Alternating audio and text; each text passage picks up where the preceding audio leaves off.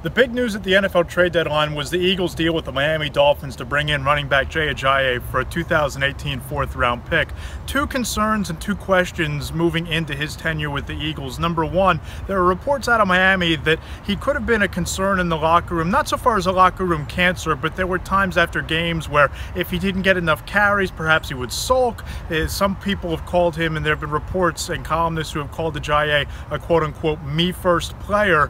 The question now becomes how how do the Eagles fit him into this locker room? And I don't personally believe that it'll be that big of a concern because Doug Pederson and quarterback Carson Wentz have done a really nice job of building a culture in this room that should promote him becoming a better teammate. You look guys like LeGarrette Blount, Malcolm Jenkins, they've won Super Bowls. Torrey Smith has played in a Super Bowl. So I think bringing Blount in, excuse me, bringing uh, Ajayi into this locker room shouldn't be too big of a concern. Number two, how does he fit in the offense? And you look back to to his second season in the NFL, Ajayi caught 30 passes. In college, he was a little bit more of a threat, catching passes out of the backfield. That's a chief tenet of Doug Pederson's offense. So you add that weapon into the arsenal around Carson Wentz to go along with Zach Ertz, to go along with Nelson Agholor, to go along with someone like Alshon Jeffery on the outside. A lot of weapons in the passing game, and you can kind of bring in that thunder and lightning role with Ajayi and LeGarrette Blount. You can keep Blount fresh. He already has 100 carries. His numbers kind of dipped last year in New England